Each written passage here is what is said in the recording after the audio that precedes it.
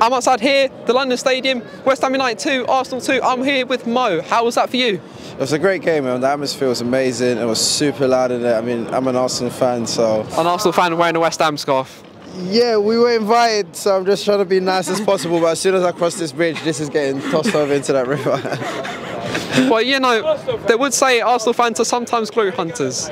So glory hunters. Yeah, glory I mean, hunters. we've been going through it these last, I mean, last ten years or so. We've been on a rope. So right now is a good time for us. But you seem very happy. You don't look like an Arsenal fan to me.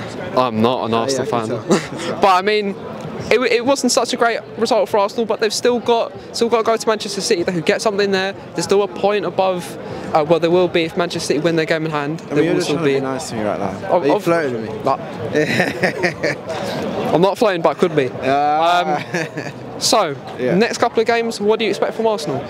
Next couple of games, um, just to get out of this mentality that we're currently in. We are we, we did go 2 0 up today, um, and it got to a point where as soon as the other team scored a goal, you can see the doubts and fears. So I think we just need to get over that, and then we can probably do it to the end.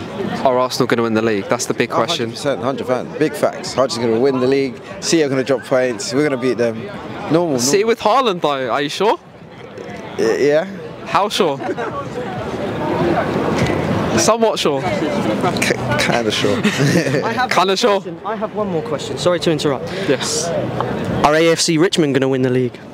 oh, You're an Arsenal fan, you're a West Ham man. Irons! Are AFC Richmond going to win the league? Sorry. I hope so. Season's still not over, so we've got uh, a lot of big games coming up. Yeah. We've got City coming up as well, so Yeah. hopefully uh, we can do that. And I'm a Richmond fan at heart, so you better smash them. let's go, let's go. Come on, come on, Richmond, you greyhounds! Oh, oh. thanks, man.